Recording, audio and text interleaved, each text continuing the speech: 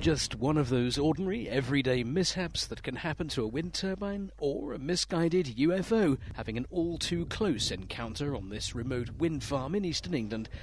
At the moment, nothing is being ruled out. Several local residents say they saw mysterious lights in the sky on the night the giant turbine was wrecked.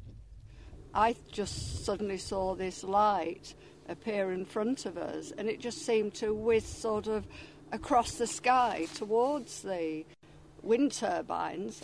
I said there was two or three of us in the car, and I just said to the other two, "What was that?"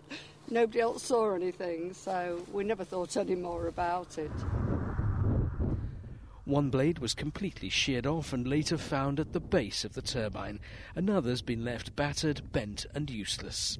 Wind turbine firm Ecotricity says it's never experienced anything like it before and is investigating. Britain's Defence Ministry is refusing to get involved because there's no security threat. Engineers say it's possible something more like falling ice crashed into the giant turbine. Ice Cube accident or aliens with a dodgy satnav. For now, it's anybody's guess. Paul Chapman, Reuters.